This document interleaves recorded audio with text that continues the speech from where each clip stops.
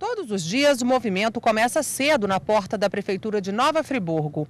Dezenas de pessoas precisam dar entrada na segunda via dos documentos.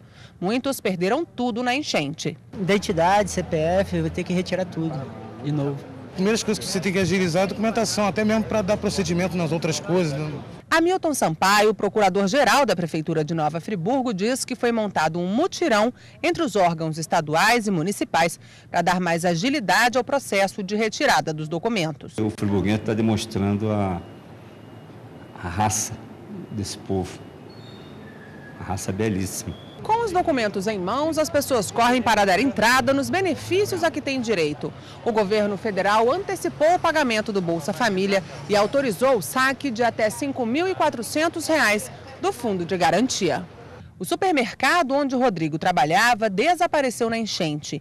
Ele agora precisa do dinheiro do fundo de garantia para se manter até conseguir outro emprego. É a prestação que eu tenho que pagar, que está atrasada. Meu filho está sem fralda, tem que comprar remédio para ele que está gripado. E mais coisas ainda. Tiago perdeu a casa. Com o FGTS, vai tentar recomeçar a vida em outra cidade. Eu vou usar o dinheiro para mim comprar uns móveis novos né, e para pagar as contas que ficaram aqui e poder me mudar com o nome, né? Sem dever nada aqui na cidade. De acordo com a Caixa Econômica Federal, cerca de 60 mil pessoas em Nova Friburgo devem sacar o FGTS e cerca de 4.200 têm o direito à Bolsa Família. O dinheiro vai ajudar a reaquecer a economia da cidade. Que será uma injeção de recursos econômicos que irão naturalmente beneficiar a cidade e toda a comunidade de Friburgo.